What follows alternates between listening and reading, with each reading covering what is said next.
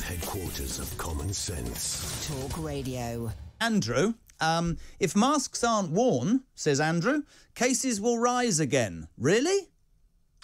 Yeah, I honestly do think there will be a slight bump back. It'll be temporary, and then and then things will sort of continue in their natural course. Yeah, I do think that will be the case. Um, well, listen, you two can talk about it because Dr. Clare Craig says masks do not work. Why, why do they not work, Clare?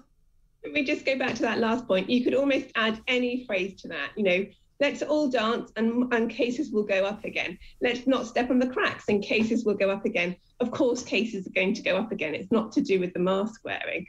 Um, so, yeah, masks don't work. And what's been really interesting about this debate is that people on my side of the debate have been quite clear from for a long, long time that actually this virus is spread in aerosols, which are too small for the masks to have an impact on.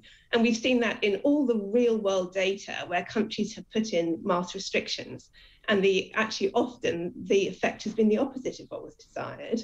Um, but then what's been interesting is that people on the other side of the debate who've been very, very pro mask a lot of them have now taken the position that cloth masks do nothing and that people should wear fitted medical grade masks on that basis. So it's quite interesting when you've got your opponent agreeing with you. Andrew, you're looking up to the sky, my friend. I mean, it, it, surely it's hospitalisations we need to worry about, isn't it? I mean, it, how does the mask work then? T- t- tell us. Put it put it into layman's terms. Why does the mask help us?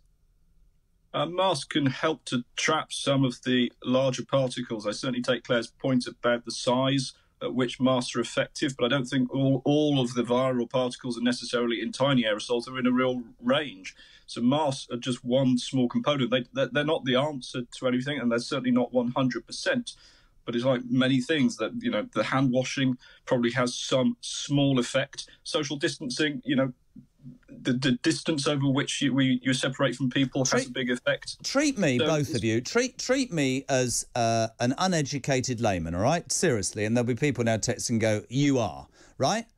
Don't we just have to get on with our lives? It's a cold. Hospitalizations aren't on the rise. We're, we're saying to a, uh, we're saying to kids, wear them in schools. We were. Lots of kids at schools need the facial expressions, the emotions to learn. I, am not I'm not criticising you, Andrew, but at what point are the scientists going to say enough is enough? It's a cold, man. I've had it. It's not going to kill me. I've been vaccinated. Can we get on with our lives? Why is there still this obsession to wear a mask? I don't get it. I'm not sure there's an obsession to wearing it. No, I certainly agree. At some point, we, we, we say we've when? done everything that we possibly can. Well, that's the point. No one really knows when. And so the only concern at the moment is compared to previous points of the pandemics, we still have very high case numbers. So it's yeah. just the argument do we wait until they go down? But how long might that be? Mm. People honestly don't know. So I'm I'm quite happy with people saying now it's up to an individual personal decision, and, and we we go with it. Absolutely, there's very little more that we really can do. It's just a case of do we wait for warmer weather if that ever comes, and, and but no one can really say what what the actual effect of going now compared with maybe going in these holidays will be. Absolutely, no no one can say that. Clare, the problem for me as well is it's become rather a militant issue, hasn't it? I mean, it's now you know you do or you don't. I've seen uh, over the last several months, I see people with masks and they're just, just like that. It's absolutely no point to them. It's almost like it's some sort of token gesture. Do you do you think we just have to get on with it now, or what? I really do. I think we have to take a step back and say, hang on a second. If we hadn't had all of this COVID palaver that we've had for the last two years, and we were where we are now, right? So if it all started with Omicron, what would we make of it? Well, our ICU beds a quarter of them are empty. That is unprecedented in January. We've got excess deaths that are below normal numbers. We would be talking about how quiet this winter has been in terms of respiratory viruses. Seriously, I'm serious. This has been an incredibly quiet year. And yet we're here because of what came before. We're here because of what you're saying about these other reasons people are wearing masks. They're wearing masks because it shows their politics, it shows their well, they believe. All right, what, all right. Let's let's not talk about politics. Let's say that supermarkets are quite rightly a vital service, and almost the whole of the community passes through. Dave, who produces uh, the Drive Show and is here today, made a really good point the other day. He comes into work every day on the tube. He said, "I think personally, I'm always going to wear a mask on the tube because I can't believe how dirty and people sneezing and coughing and whatever. That's going to be his choice going forward."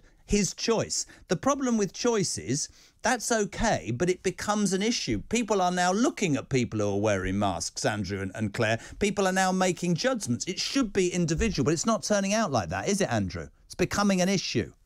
No, I do think we have a period of, of, of, of sort of trying to, to understand that, that it's not a judgment on other people. If I wear a mask, it's my own personal decision. I don't want to be judged. And I, am not judging anyone who doesn't want to wear a mask because, you know, we're in that phase now. We've been asking people to stick to the regulation. The, the, the restriction has gone. So, of course, people are certainly at liberty to say, actually, I don't want to wear a mask. Well, and I understand well, there are certain many occasions where you know, in schools with with communications, yeah. it, it is a major issue. Um, we've never found a restriction or a way to try and tap down on this virus that doesn't have other negative consequences. I, I there su- not one. I suspect what I'm going to say will go down like a lead balloon, but you know, yesterday was Freedom Day and there was enough definitive proof that lots of people are still going to work from home. Now, without appearing cynical, there will be some people who've got used to that, right?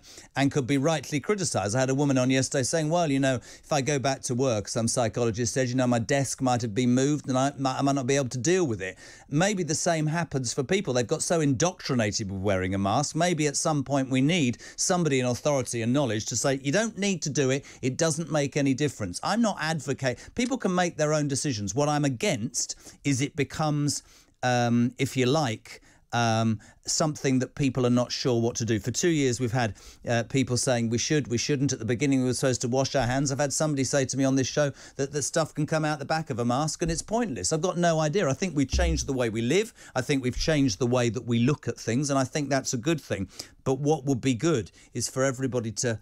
I don't know, the same message to come because it becomes political. And, you know, whatever the answer to it is, it should I hope people can just make the right decision from then. Do you ever see it ending, Clare? Very quickly, 10 seconds. Um, I think what you've said is pertinent. It has to be ended from the top. It won't be ended by people carrying on like this because people are wearing them as safety blankets. Children, drama teachers are saying they're finding it hard to get them to take them off and speak because they're hiding behind them. But also, also, if we've had for two years people suggesting that if you don't wear a face mask, you're going to die or you can contribute to other people's deaths, that's also relevant. Thank you both very much indeed. Good talk. Hot talk. Bold talk. Talk radio. Listen on your smart speaker. Watch it live on your smart TV. The world headquarters of common sense. Talk radio.